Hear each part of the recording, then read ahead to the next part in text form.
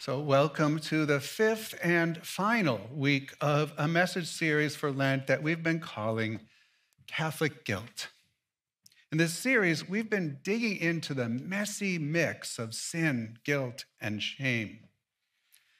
Catholic guilt is kind of a catch all term for where the ideas and experiences people have come from. But really, no matter your religious perspective or affiliation, guilt and shame is something that all people experience. Unprocessed guilt and shame can be a huge roadblock to living a healthy, full, and hopeful life.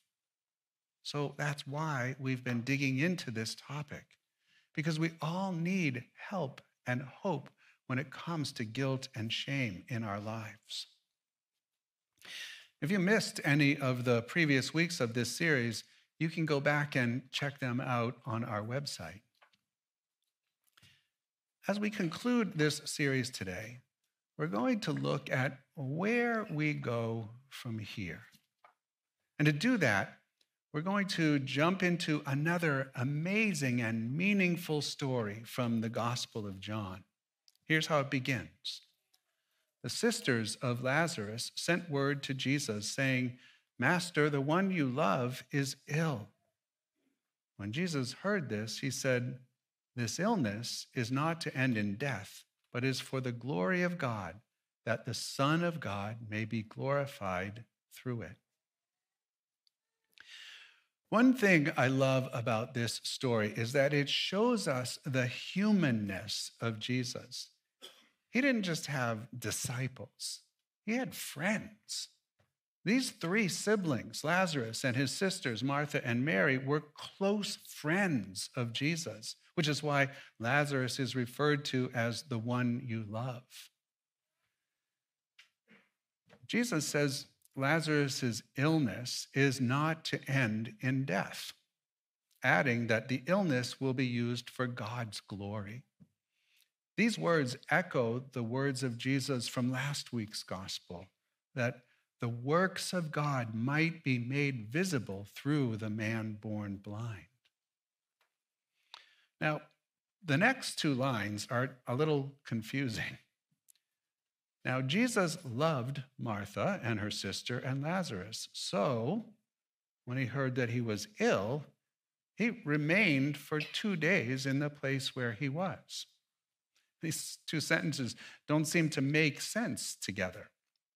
First, we're reminded that Jesus loves Martha, Mary, and Lazarus, and yet he delays going to see them when Lazarus is ill. And this isn't a delay of a few hours, it's a couple of days. The timing makes it seem like Jesus doesn't care about Lazarus' suffering or the suffering of Martha and Mary. He seems indifferent to their pain. Sometimes it seems like Jesus is indifferent to our hurt, our pain, or shame. He doesn't seem to show up or act as quickly as we would like. This is a reality that John, the gospel writer, is naming for us. God's timing often doesn't make sense to us. When it comes to healing from shame and guilt, we can feel frustrated that we still experience shame over something from the past, maybe even decades ago. But just because healing takes a long time, it doesn't mean God isn't working. It doesn't mean God doesn't love you or isn't with you. In fact, what it does mean is that God is not done with you, not done healing you. There's more to the story, just like there's more to today's gospel story. When Jesus arrived, he found that Lazarus had already been in the tomb for four days. When Martha heard that Jesus was coming, she went to meet him. But Mary sat at home. People handle pain in different ways. Martha is the doer, the active person. She goes out to meet Jesus. Mary is more reflective. She stays at home. Some people handle shame and guilt by getting busy. They try to block it out or distract themselves from the feelings of guilt. Other people withdraw into themselves. They get quiet and go deep into their interior world. Sometimes we try both of these approaches, whatever keeps the guilt and shame at bay for the moment. So Martha goes out to meet Jesus as he finally gets there. And she says to him, Lord, if you had been here, my brother would not have died. But even now, I know whatever you ask of God, God will give you. Martha is blunt and direct with Jesus. You could have done something about this. She's angry, and understandably so. Martha is such a helpful example for us because people think that they can't get angry at God, but you can. Do you know what it's called when you tell God how angry you are with Him? It's called prayer. I'm serious. Many of the Psalms are loud and boisterous expressions of hurt and frustration that God isn't coming quickly to help. If you feel angry with God, go ahead and let Him know. If you feel like He has let you down, tell Him. You can even yell at God because eventually it allows you to process your feelings in the context of your relationship with God. That's what Martha did. Eventually, she balances her feelings with her belief in Jesus. She's angry, but she's also faithful. She says, I still believe you can do anything. I believe in who you are, even though I'm in pain and I'm struggling and I don't get it. So then Jesus says to Martha, Your brother will rise. Martha said, I know he will rise in the resurrection on the last day. To Martha, it must have felt like Jesus is offering a trite platitude, like someone's unhelpful comment at a wake. You'll see them again in heaven. That may be true, but it's incredibly unhelpful in the moment. It bypasses and short circuits the very real pain of loss. That's not what Jesus is doing here. He invites Martha to go deeper. He says, I am the resurrection and the life. Whoever believes in me, even if he dies, will live. And everyone who, believe, who lives and believes in me will never die. Do you believe this? Jesus says, I am the resurrection. Through his resurrection from the dead, Jesus conquers and overcomes death, sin, shame, and suffering of every kind. And not only does he overcome it, but through belief in him, we can overcome these very same things. But do we believe that? Do we believe healing from shame and sin and even death is really possible? If we believe that to our core, it doesn't mean we won't get wounded or suffer loss or shame. We believe we can recover from the shame. We believe that God will bring good from the pain. Martha believes. Well, next, Mary enters the scene. Mary comes to Jesus and falls at his feet, weeping. When Jesus saw her weeping, and the Jews who had come with her weeping, he became perturbed and deeply troubled and said, Where have you laid him? They said to him, Sir, come and see. And Jesus wept. Jesus feels the fullness of human emotions. He weeps with Mary because he meets her exactly where she is at.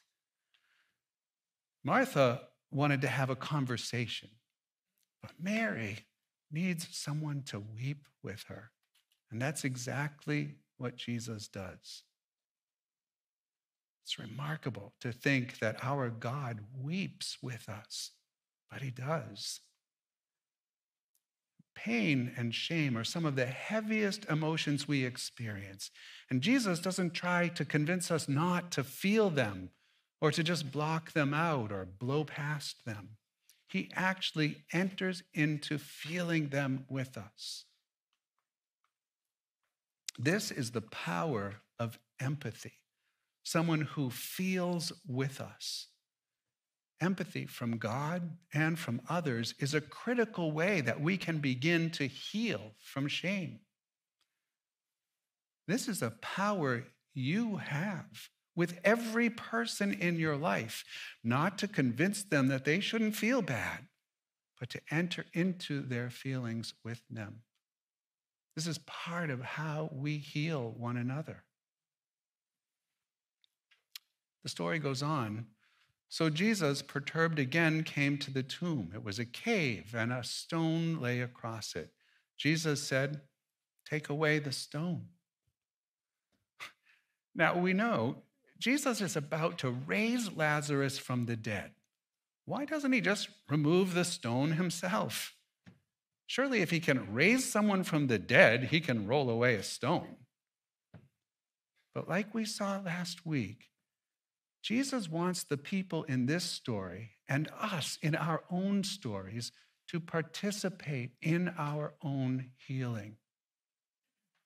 So they do it. They take this step of faith, even though it doesn't seem to make any sense.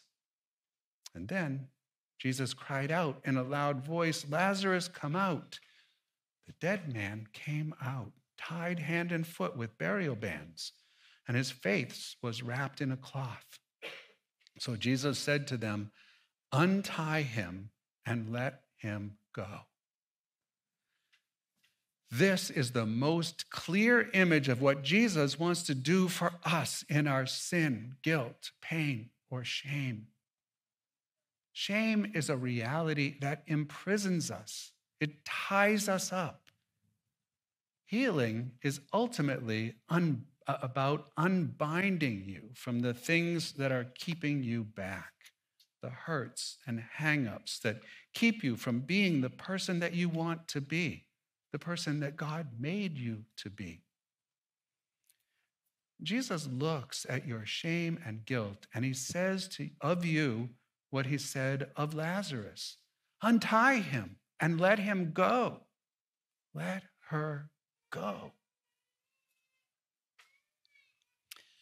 You know, I will be the very first to admit that this has been a very difficult topic to engage with. And if you feel that way, I would just encourage you by saying, that means you're doing it right. This is actually the point of Lent.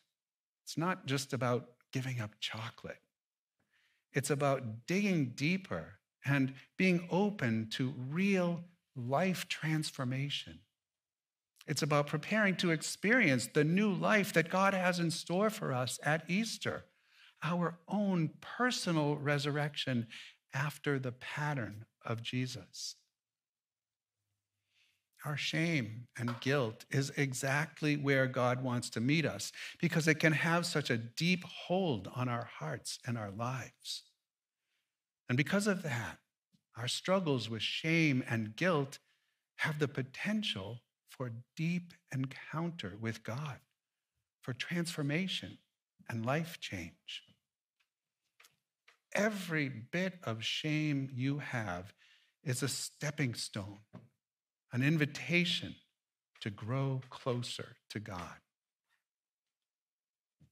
Can you make the leap to being willing to view it that way? Guilt and shame isn't something to run away from, it's something to uncover so that we can participate in God's desire to heal us. So, where do we go from here, practically speaking? Well, I think many of us are at different places with this topic. You may feel that you haven't experienced healing. Like Martha and Mary, you're in pain and you feel like God hasn't shown up yet. That's a tough place to be. Like Martha and Mary, don't be afraid to express your anger and frustration to God. Ask God why He hasn't shown up, why you can't see what He's doing, or why you can't see a path forward. And ask yourself honestly do I believe that God can give me what I truly need? For those who feel like your healing is in process, you've started to work at it, but there's more work to be done, I just want to encourage you to keep going. Keep going to your small group or get into a small group. Ask people in your life to encourage you to keep going. Keep praying about it. Come to our worship night as a way to keep going. Read a book about healing. We highly recommend the book Reclaim Regret, which has inspired us during this series. You can stop by the info desk after Mass if you want to check it out. For those who feel you have experienced healing, share your story with us and with others. Talk with someone about your healing story. Let us know what God has done by sending an email to stories at newroadscatholic.org. A great step is just to write it down. What changed? What happened? How did it happen? God heals because he loves you and wants you to experience his love. God also heals you so that your life will show his love to others. Healing isn't only about you, it's also about revealing the glory of God to others. Your healing isn't the end, it's actually the beginning of someone else's story. Because healed people heal people. It's a fact that we all have guilt and shame, and there is no quick fix solution. But instead of denying or ignoring the reality of shame and guilt, recognizing its presence in our lives and understanding how it affects us is a huge step toward being open to the healing that God wants us to experience.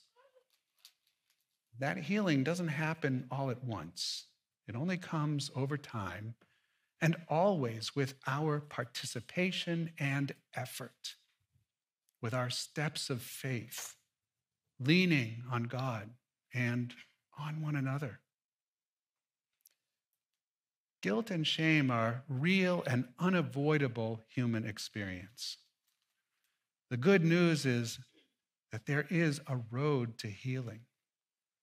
We can start that journey because we know who is calling us. Jesus is calling us, leading us to healing and to new life every day of our lives.